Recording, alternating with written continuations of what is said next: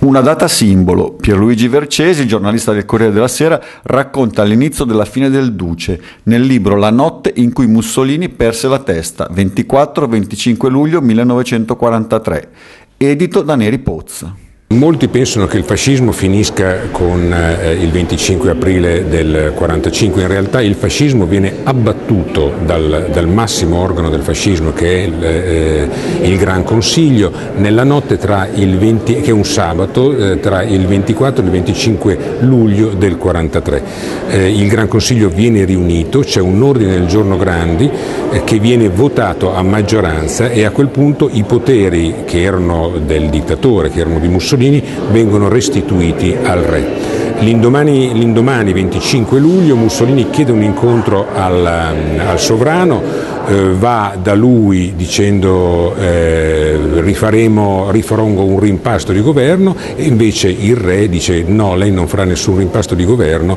e lo fa arrestare e il, il governo viene attribuito a Badoglio. Un epilogo questo che non si aspettava nemmeno Mussolini. Io sono, convinto che aveva perfetta coscienza dell'ordine del giorno Grandi,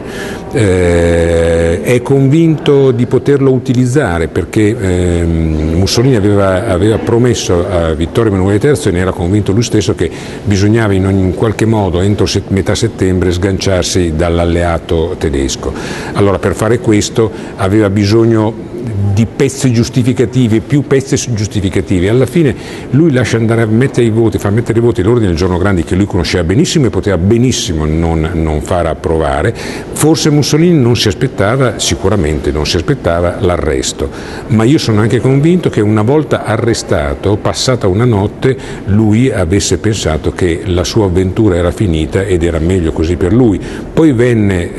ritirato in ballo dai, dai tedeschi che Mm, lo trovarono, lo portarono in Germania e, lo, eh, e gli fecero eh, costituire uno Stato fantoccio che serviva esclusivamente come eh, modo per rallentare la, la risalita del, degli americani e degli inglesi, dei francesi, insomma degli alleati eh, dal sud d'Italia. Gli italiani il 25 luglio 1943 pensarono che la guerra fosse finita. Quando venne dato l'annuncio eh, da Badoglio che eh, il, fascismo era, era, era caduto, eh, Badoglio disse alla fine la guerra continua al fianco dell'alleato perché l'armistizio eh, avviene